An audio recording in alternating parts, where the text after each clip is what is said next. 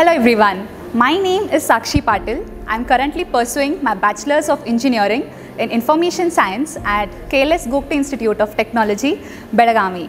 My college life has been a beautiful and perfect blend of joy and hardships with excellent exposure across various platforms, be it overall development, education, uh, social awareness or even practical exposure to corporate world through internships.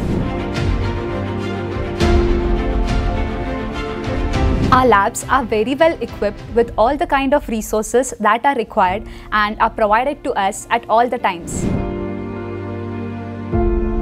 The ambience of our campus is very positive and our college library provides us with variety of reference books, technical and non-technical journals, magazines and newspapers on daily basis.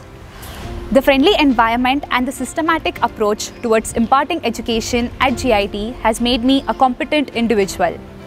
Along with the academics, various activities including the curricular and co-curricular activities helped in building my self-confidence and improving my leadership skills.